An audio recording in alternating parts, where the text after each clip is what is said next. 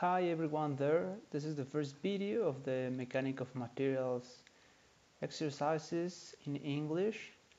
My name is Christian, I'm from Mexico City and I'm gonna be teaching you some lessons of Mechanic of Materials. Well, we're gonna start with this exercise, the number 133 from the Hibbeler book and it says, the bar has a cross-sectional area A and is subject to the axial load P, determine the average normal and average shear stresses acting over the shaded section, which is oriented at theta from the horizontal.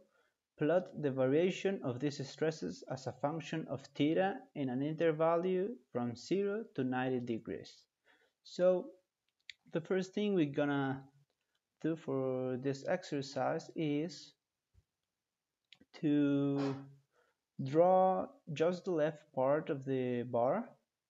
So we have I'm gonna change the color to a black one. Here's a black one. I'm gonna draw the left part of the I'm gonna draw the left part of this bar. Here is it.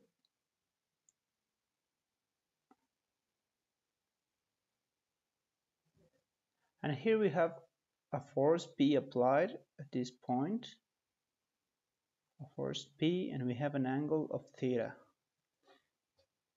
The first thing we have to do is to decompose that force P into a axial force or a normal force through the oblique end area. This is going to be the oblique area at an angle of theta and we have an, uh, an axial force or a normal force and we have a shear force. So we can decompose this cross section the sorry that force this is theta. So the n force will be p sine theta and the b force or the shear shear force will be p cosine theta. And if we remember the formula for the average normal stress, for the average normal stress is P over area and for the shear the average the average shear stress is B over area. So we already have this force, this axial force that is N, and we have this axial force that is B. Now we need to have this area. This area, we can draw here that I'm going to draw the right part now of the bar, and we have this. And making this dimension a theta and this dimension the original cross-section area. This is the original cross-section area. And we have an angle of theta so we can apply a formula that is sine theta equal to the opposite side that is the original cross-section area over the inclined area that is a theta. So theta will be theta will be a the original area over sine theta. Gonna erase this. Now we have found the forces the component of the force P N and B and we have found the value of area. So we can evaluate that. So we can evaluate that now. So the normal stress in the area theta will be n over area theta or if we see if we put these values here we're gonna have p sine theta over and this value here area c area original over sine theta. So the average normal stress in the inclined section will be p sine squared theta over the area the original area. This is the original area. And we can do the same for the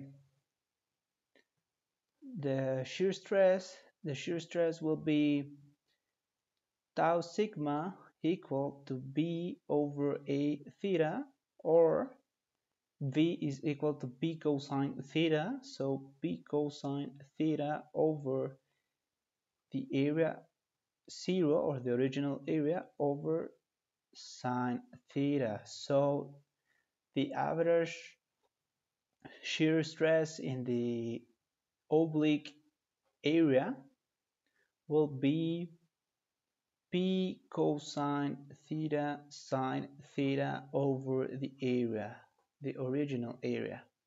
Now we have the we have determined here this part. We have determined the average normal and average shear stresses acting over the shaded section.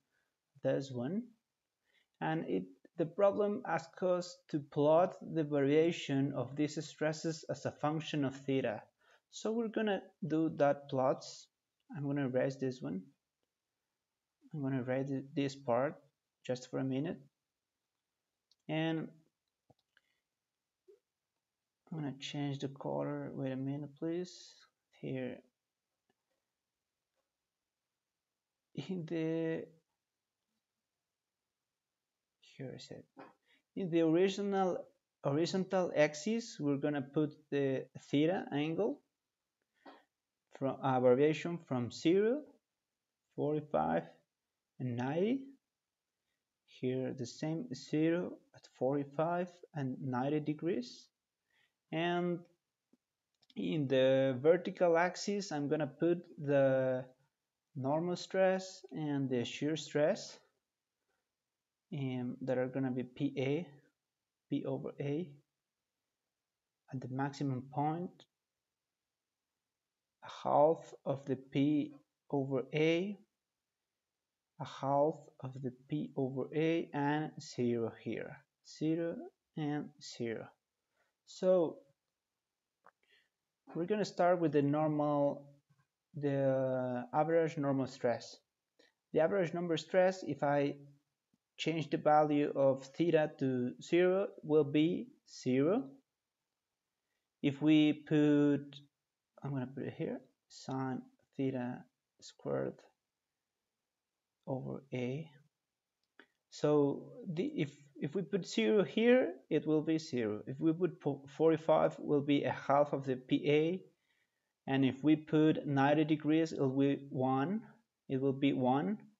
So the variation is something like this with the maximum uh, normal stress at 90 degrees this is the maximum point at 90 degrees and what happened to the shear stress the shear stress if we evaluate the zero value here we have zero. If we put 45 in this theta we have the half of PA of P over A and if we put 90 degrees we have 0 so this is a variation in this form. With the maximum value of the shear stress maximum at 45 degrees. So the maximum normal stress is at 90 degrees at this plane with no no angle.